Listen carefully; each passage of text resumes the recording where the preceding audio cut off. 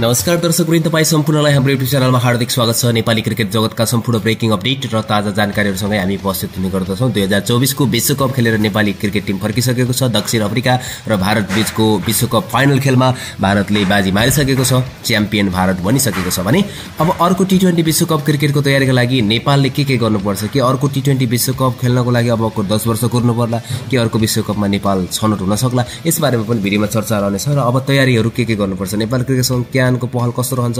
अब test nation बन्नको लागि नेपालको प्रक्रियागत कुराहरू के के रहेका छन् भन्ने विषयमा पनि चर्चा रहनेछ। भिडियोलाई अन्त्यसम्म हेरिदिनु होला च्यानललाई सब्सक्राइब गर्नुहोला र मन परेको खण्डमा एक लाइक गर्न पनि नबिर्सिनु होला र यो विचारसँग सहमत हुनुहुन्छ भने अवश्य पनि तलको कमेन्ट बक्समा तपाईँको विचार पनि लेखिदिनु होला। दक्षिण अफ्रिकालाई सात रनले हराउँदै भारतले टी ट्वेन्टी विश्वकपको उपाधि जितिसकेको छ। दक्षिण अफ्रिका फाइनल पुग्ने यात्रामा टोलीका लागि एउटा निकै कठिन मानिएको खेल नेपाल विरुद्ध नै थियो। भारतले समोच्चरणमा नेपालको सामना गरेन तर दक्षिण अफ्रिका र नेपाल बीचको खेलको नतिजा भने अन्तिम बलबाट मात्रै भएको थियो। दक्षिण अफ्रिकाका left arm spinner bowler Keshav महाराजले पनि भनेका थिए हामीले निकै अप्ठ्यारा खेलहरूमा साना साना क्षणहरू पनि जित्यौं तब मात्र यहाँसम्म पुग्यौं उनले भनेका थिए। विश्वकपमा आफ्नो सहभागिता जनाएर फर्केका नेपाली राष्ट्रिय क्रिकेट टोलीले भने यस्तै साना साना क्षणहरूमा हारिरहेको देखिन्छ। क्रिकेट विश्लेषकहरू भन्छन् नेपालले विश्वकपबाट केही पनि गुमाएको त होइन तर पाउन सकिने कुराहरू धेरै गुमाएको छ। धेरै कुराहरू एचिभ गर्न सक्थ्यो त्यो गुमाएको छ। अब टेस्ट र एसोसिएट राष्ट्रबीचको भिन्नताले गर्दाखेरि पनि हुन सक्छ नेपालले थपथकाउनु पर्ने खेल भनेको दक्षिण अफ्रिका र अर्को बङ्गलादेश विरुद्ध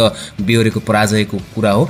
र त्यसमाथि पनि दक्षिण अफ्रिका विरुद्ध एक रनको पराजय त लामो समयसम्म याद रहिरहनेछ नेपाली क्रिकेट टिमका खेलाडीहरूलाई र नेपाली समर्थकहरूले। त्यो कुनै पनि छेडमा भुल्न सक्ने अवस्था भने भेटिँदैन। हातैमा आइसकेको खेल नेपालले कसरी गुमाउन पुग्यो त भन्ने कुराहरू धेरैजनाले गरिरहेका छन्। यस विषयमा चर्चा पनि गरिरहेका छन् तर धेरैजनाले म्याच हेरिरहेका थिए भने उनीहरूले प्रत्यक्ष रूपमा देखिरहेका थिए। राष्ट्रिय क्रिकेट टोलीका पूर्व कप्तान पवन अग्रवाल नेपाल टेस्ट पूर्ण सदस्य र एसोसिएट राष्ट्रबीचको मसिनो तर बलियो रेखा चिर्न असफल भएको बताउँछन्। त्यही कारणले गर्दा नै यस साना साना गल्तीले गर्दा नेपाल क्रिकेट टिम हातमा आइसकेको म्याचलाई फुस्काएर हार बेहोर्न बाध्य बनेको छ उनले भनेका छन्। आइसिसीको पूर्ण सदस्यता प्राप्त गरेका बाह्र राष्ट्र छन्। यी टोलीले टेस्ट क्रिकेट खेल्न पाउँछन्। पूर्ण सदस्यता नपाएका सदस्य राष्ट्रको संख्या नेपाल सहित छ्यानब्बे छ भने नेपाल एसोसिएटको माथिल्लो तहमा पनि गनिन्छ। एसोसिएटको पहुँच एक दिवसीय क्रिकेटसम्म मात्र हुन्छ। पूर्व कप्तान पवनले भनेका छन् दक्षिण अफ्रिकी खेलाडीलाई यस्तो परिस्थितिमा खेल्ने बानी परिसकेको छ। जबकि हाम्रा खेलाडीहरूले यस्तो तनावको क्षण धेरै झेलेका छैनन्। त्यसैले पनि नेपाली खेलाडीहरूको कमजोरी उनीहरूलाई फाइदाको विषय बन्यो उनले भनेका छन्। हुन पनि यही भएको हुनुपर्छ। विश्वकपको खेलमा अन्तिम छेडमा के कसरी आफूलाई नियन्त्रित गर्ने र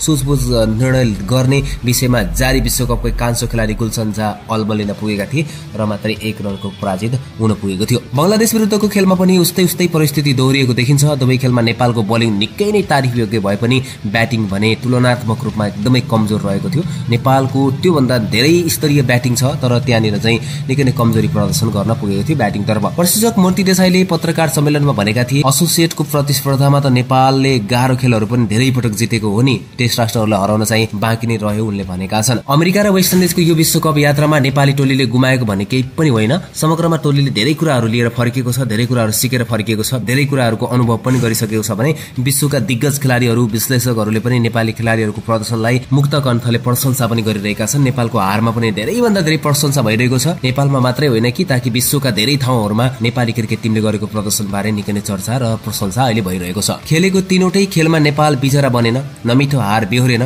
र नेपाल क्रिकेट टिम एकतर्फ हार बेहोरेर फर्किन परेन। त्यसैले पनि नेपाली क्रिकेटरहरूलाई नेपाली क्रिकेट टिमलाई धेरै विश्वका क्रिकेट विश्लेषकहरूले प्रशंसा गरिरहेका छन्। खेलेको तीनवटै खेलमा कडा प्रतिस्पर्धा गर्यो। विपक्षी टिमलाई कडा चुनौती पनि दियो। कतै पनि लागेन कि नेपाल सानो टिम हो। नेपाली समर्थकहरूमा देखिएको क्रिकेट मोह र विश्वकपको मुख्य हाइलाइट मध्येको एक नै भएको थियो। यद्यपि यतिमै सन्तुष्ट भएर बस्ने छुट भने अब छैन। नेपाली खेलाडीहरूलाई पनि यो प्रशंसा यो तारिफमा छुट दिन नहुने खेलकुद विश्लेषकहरू क्रिकेट विश्लेषकहरूले बताइरहेका छन्। नेपाली खेलाडीहरूले कडा मेहनत त गरिरहेका छन् अब सुझबुझका साथ माइन्डेड गेम पनि खेल्नुपर्छ भनेर चाहिँ हौसला दिइरहेका छन् र सुझाव पनि दिइरहेका छन्। समग्रमा असन्तुष्ट हुनुपर्ने ठाउँ छैन सुधारको ठाउँ त धेरै छँदैछ त्यो भएको कारणले गर्दा अब सुधार गर्नुपर्ने धेरै कुराहरू पनि रहेका छन्। दक्षिण अफ्रिकासँगको साहसिक भएको खेलमा नेपाल एक रनले मात्रै पराजित भए पनि हार भनेको आखिर हार नै हो।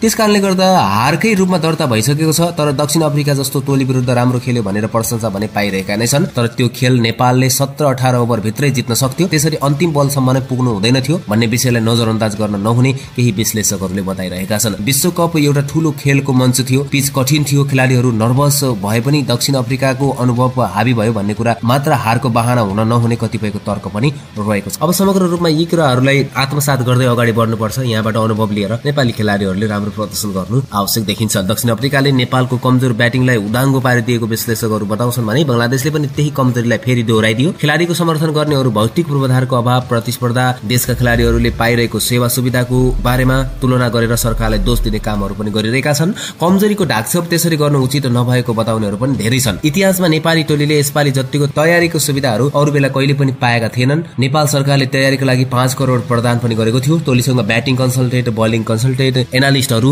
र तयारीकै क्रममा टोलीलाई दुई दर्जन बढी अभ्यास खेल खेल्ने अवसर पनि दिएको थियो। टोलीलाई एक महिना अगाडि नै वातावरणसँग घुलमिल हुन अमेरिका वेस्ट इन्डिज लगायतका ठाउँहरूमा पनि पठाइएको थियो। एकजना समर्थक लेख्छन् कहिलेसम्म सिक्ने क्रममा छौँ भनेर बस्ने दुई हजार चौधमा पनि यस्तै भएको थियो। दस वर्ष पनि यही ताल रहेको छ। अब हामी कहिले सुध्रिने र कहिले नेपाली खेलकुदको विकास हुने कहिले नेपाली क्रिकेट टिमले जित हासिल गर्ने भनेर लेखेका छन्।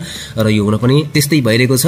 नेपाली समर्थकहरू निराश पनि छन्। एक विषयमा त खुसी पनि छन् तर निराश पनि रहेका छन्। जितिसकेको म्याच हार्दाखेरि धेरैजना समर्थकहरू त्यो भुल्न नसकिने छेडमा रहेका छन्। नेपालको सपना पक्कै पनि भोलि टेस्ट राष्ट्र भन्ने रहेको छ। नेपाल त्यसको नजिक नजिक पुगिसकेको पनि देखिन्छ। त्यसको लागि आवश्यक भौतिक पूर्वाधारहरू निर्माण पनि भइरहेका छन्। समर्थकहरूको साथ र क्रिकेट क्रेजमा नेपाल अब्बल नै छ। एकातिर टेस्ट राष्ट्र बन्ने सपना बुनिरहँदा अर्कोतर्फ भने नेपाल दुई वर्षपछि भारत र श्रीलङ्कामा हुने टी ट्वेन्टी विश्वकपमा छनौट हुन्छ वा हुँदैन भन्ने चिन्ताले सताइरहेको छ। सन् दुई हजार चौधमा नेपाली क्रिकेटको क्रेज उच्च तहमा चुनिँदा पनि त्यसपछि अर्को विश्वकपमा खेल्न दस वर्षसम्म लागेको थियो। पारस खड्का नेतृत्वको त्यो टोलीलाई राम्ररी स्याहार गर्न नसक्दा नेपाल छनौट चरणमा बारम्बार अड्किएको पनि थियो। अहिले ओमान युए हङकङ क्यानाडा जस्ता टोलीहरूको प्रगति लोभलाग्दो तरिकाले भइरहेको छ। यसपालि सुपर आठमा पुग्ने टोली अर्को विश्वकपमा सिधै छनौट हुने नियम बनाइरहेकोले नेपाललाई हरेक पटक चुनौती दिने गरेको अमेरिका सिधै छनौट भइसकेको छ। भारत आयोजक भएको नाताले दुई वर्षपछि हुने विश्वकपमा एसियाले एक स्थान बढी पाउन सक्छ। धन्न पाकिस्तान वरिताको आधारमा सिधै छनौट हुन सक्यो र सुपर आठबाट बाहिरी पनि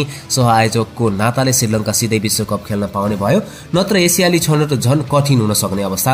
रहन सक्थ्यो। हाम्रा खेलाडीहरू विश्वस्त प्रतिस्पर्धामा लायक छन् भन्ने देखिसकेको छ तर लामो यात्रा तय गर्दै जान भने आजदेखि निश्चित योजना बनाउनै पर्छ। नेपाल क्रिकेट सङ्घ क्यानले यसको बारेमा सोच्ने बेला आएको छ। नेपाल सरकारले पनि भौतिक पूर्वाधारहरूमा लगानी गर्नुपर्ने बेला आएको छ।